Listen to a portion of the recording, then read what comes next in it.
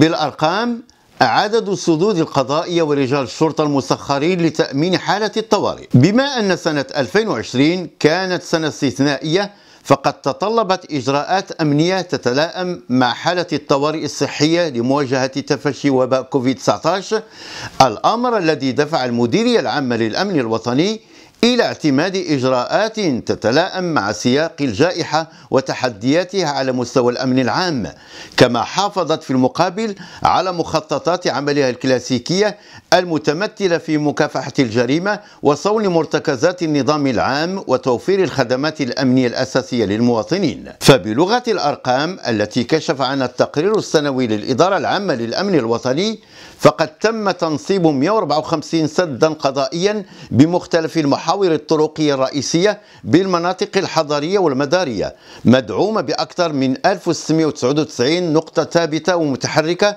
لمراقبة التنقلات الاستثنائية وتسهيل حركية البضائع والمواد الأساسية.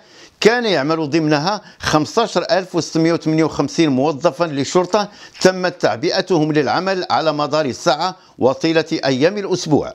كما تم إسناد هذه الوحدات ب 2980 دورية محمولة لشرطة النجدة تضم في حصيصها البشري 11360 موظف وموظف للأمن.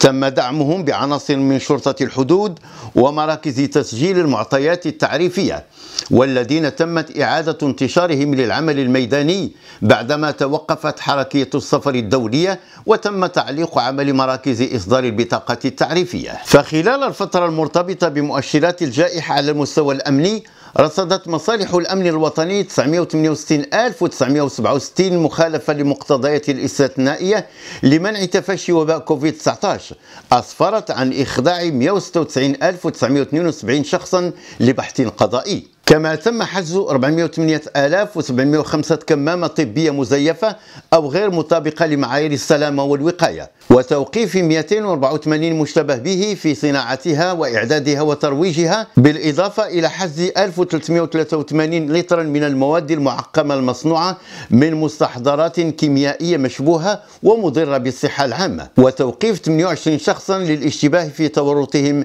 في عرضها للترويج بالأسواق.